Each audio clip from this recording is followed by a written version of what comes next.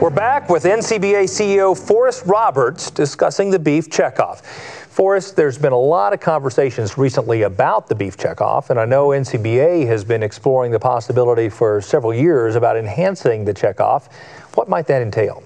Well, there's been 11 organizations that have looked for the past three years at what are the things necessary to improve upon the efficiencies and the effectiveness of the current program in order to look at garnering support across this country and across this industry for an enhancement to the assessment rate, uh, going from $1 per head to something north of that.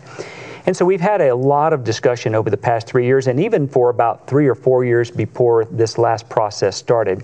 And so that is where we're focused today, is trying to understand uh, what is it that we need to do to continue to increase effectiveness and efficiency with the program that will be enabling us to garner that support for an increase in the assessment. So when you look at today's all-time high approval rating of the current program. And as we were just discussing this $11.20 return on investment, mm-hmm. effectively what we have is a very effective program that's delivering these results that really matter. Mm-hmm. But it's just a program that's underfunded. Mm-hmm. So when we look at all the challenges facing our industry, and probably more importantly, Kevin, all the opportunities that face this industry in the next five, ten, and perhaps for the next two decades, mm-hmm the real question is what do we need to do to garner that support across the industry for an already highly effective program to put a little more fuel in that fuel tank to make it even more successful? There are not many companies that'll double the price of their product and spend less on marketing. I know that for sure. Absolutely.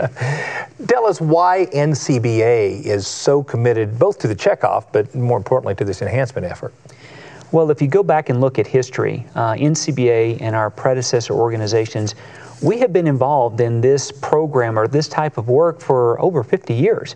And in coordinating that first with a lot of our state partners and what we see today with the uh, 45 qualified state beef councils mm-hmm. across this country, that work began, Kevin, uh, greater than 50 years ago. Mm. And so as you look at what culminated into the 1970s then and in, into the 1980s, what I hope people in the country see is that this program and our work as a contractor from NCBA's perspective into the program, it is essentially a core value of this organization to work our tails off to do everything we can to not only protect and grow demand for beef here domestically, but also work with a lot of our key stakeholder partners like the U.S. Meat Export Federation mm-hmm. to generate that demand for beef in these international markets. Mm-hmm. And we've been able to demonstrate why that's so important through this process over the past three years to look at enhancements.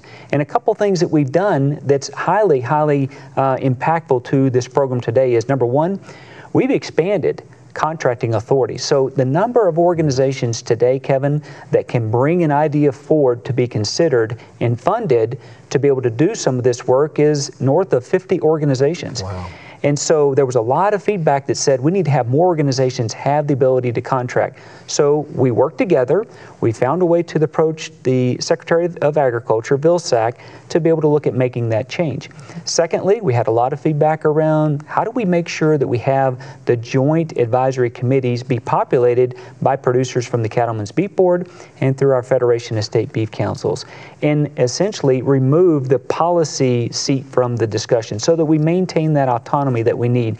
We did that as well, and we brought forward a new joint advisory committee structure that enables those discussions to happen again in the most effective and efficient way. Mm-hmm. So, effectively, what I'm trying to communicate to everyone is that yes, we have a very successful program. Mm-hmm. It is a core value of what NCA, NCBA believes and what we want to be able to be a part of delivering for this industry.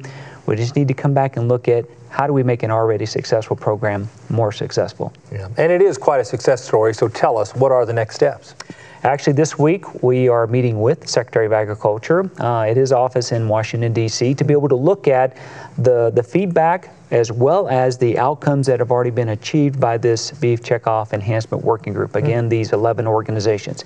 Uh, recently, there's one that has decided they would like to not be a part of this on a go forward basis. So, we're going to come back together. We're going to talk about the progress that's been made, hear the Secretary's perspectives about what he thinks is important, and then we'll be outlining what those next steps are. But I can guarantee you that NCBA is not only committed to this process and committed to achieve these outcomes we're committed in such a way that we're wanting to be a part of helping to lead these outcomes in a way that brings our industry together, mm-hmm. not tears our beef community apart, and also in a way that moves toward how do we look at five, maybe 10 years from now, Kevin, we've got a $20 return on investment to that $11 plus investment that we have today. Sounds like a great plan to me. Thank you so much for coming and joining us, Forrest. Thank you, Kevin. Appreciate you having me today. To learn more about NCBA and its role as a checkoff contractor, visit beefusa.org.